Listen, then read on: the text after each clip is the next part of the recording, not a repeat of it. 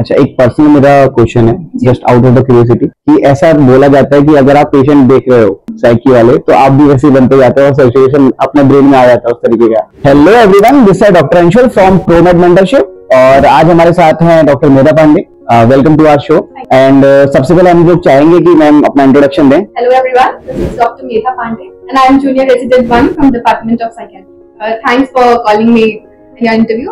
Okay. So first we start with the pros and cons for the branch. Uh, please. Okay, the pros of psychiatry is like everyone is fascinated with this branch. क्या होता है कैसे patients आते हैं So like every patient is different and it's very interesting to see those patients. So like yeah, the first pro is कि बहुत ही interesting branch है दूसरी क्योंकि MD medicine जैसी ही branch है so the uh, setup will be like cost effective you need a table chair and a pen and you'll be ready to go to see any kind of patient तीसरा जो मुझे सबसे ज़्यादा लगता है जो मुझे पर्सनली सबसे बड़ा एडवांटेज इस ब्रांच का लगता है कि इस ब्रांच में सेटिस्फैक्शन बहुत ज़्यादा है like patient comes to you they are not eating they are not sleeping they are not talking to someone else they are busy in their own different world but when you treat them uh, the smile returns on their face and then they come to you smiling saying Nice. that i have become better thank you so much so i think the satisfaction that you get is like the most most most biggest advantage of this Very nice, very nice. So we come to the cons. the cons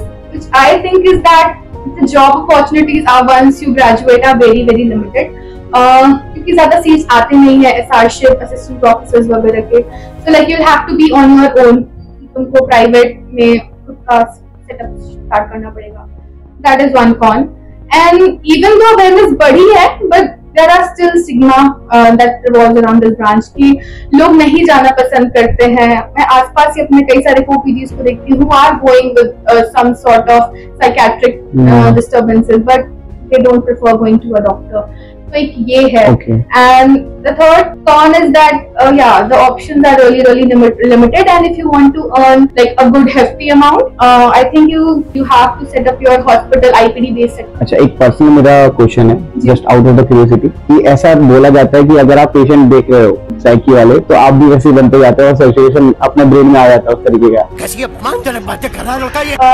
actually जब आप start करते हो ना किसी भी branch को तो हर चीज़ आपको थोड़ा थोड़ा इफ़ेक्ट करती है मतलब Okay. आपको भी याद होगा कि एमबीबीएस में आपने जब पहली डेथ देखी होगी किसी की Exactly. तो मतलब. हाँ Hmm. खाना नहीं खिलाता सुलाता नहीं है तो एवरी ब्रांच स्मेल जो एनाटॉमी में but you get used to it तो पहले स्टार्टिंग के कुछ मंथ्स में आई से कि हाँ थोड़ा बहुत मेंटली इफ़ेक्ट होता है पेशेंट को इमोशन देख के आप भी इमोशनल होने लग जाते हो लेकिन once you get going in this branch चीज़ें फिर इजी होती जाती है और चीज़ें आपकी स्पाइनल लेवल पे आती जाती है तो वो इतना ज़्यादा आपकी माइंड को अफेक्ट नहीं कर रही होती है सेकंड बहुत ही important question working hours in the residency तो मैं जिस हॉस्पिटल में काम कर रही हूँ उसमें दोनों हॉस्पिटल बेस्ड सेटअप भी है और मेंटल हॉस्पिटल भी है। ओके तो हमारे पास वर्कलोड ज़्यादा होता है। तो ऑलमोस्ट वीक में हमारी एक नाइट ड्यूटी रहती है ऑलमोस्ट थर्टी सिक्स आवर्स उसमें हो जाते हैं। थर्टी सिक्स ऑन सिंगल या या। और बाकी हर दिन एवरेज में almost twelve to thirteen hours हमें काम करना होता है। But unlike any other major branches जैसे मेडिसिन सर्जरी ऑब्सगाइनी हो गया we get enough time to sleep उतना हेक्टिक नहीं है हाँ मतलब फ़र्स्ट ईयर ऑब्वियसली हेक्टिक रहेगा लेकिन इतना हेक्टिक नहीं है कि आप इतनी बेसिक नेसेसिटीज पे आप टाइम नहीं दे पाओगे। एंड एंड ये जैसे कि ब्रांच के बारे में मुझे जब मैं अपना पीजी दिया था। क्या ये टर्मिनल ब्रांच है या इसमें आगे सुपर स्पेशलाइजेशन हो सकता है? हाँ सुपर स्पेशलाइजेशन के ऑप्शन अवेलेबल है। जैसे की? कि साइकेट्री है चाइल्ड एंड एडोलेसेंट साइकेट्री है जीरियाट्रिक साइकेट्री है but it's totally up to you कई लोग साइकेट्री से पीजी करके भी सेटल होना पसंद करते हैं। इन टुडेज वर्ल्ड ऐसा देखा गया कि रिहैब सेंटर काफ़ी ज़्यादा ओपन हो रहा है। हाँ। तो आप अपनी सर्जरी करने के बाद रिहैब सेंटर खोल सकते हाँ? मतलब अ, उसके लिए ऐसा रहता है कि काफ़ी ज़्यादा हेफ्टी प्रोसीजर होता है। कई सारे लाइसेंसिंग वगैरह लगती है। तो हाँ if you are up for it? हाँ लाइक डी एडिक्शन सेंटर्स खोलते हैं। जैसे अपने पंजाब हरियाणा साइड पे बहुत ज़्यादा डी एडिक्शन सेंटर्स का चलन है। वो बहुत ज़्यादा साइकेट्रिस्ट को हायर भी करते हैं उस पर्पज से।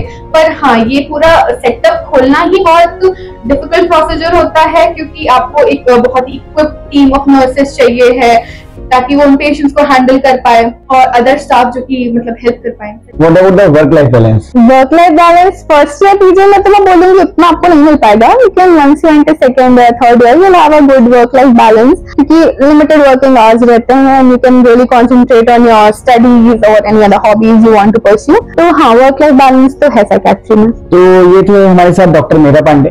इंटरव्यू कैसा लगा प्लीज़ कमेंट करके बताइए। प्लस इसके साथ में आप नेक्स्ट इंटरव्यू किसके साथ चाहते हैं? किस ब्रांच के रेजिडेंट के साथ आप नेक्स्ट इंटरव्यू चाहते हैं, वो भी ज़रूर बताएँ।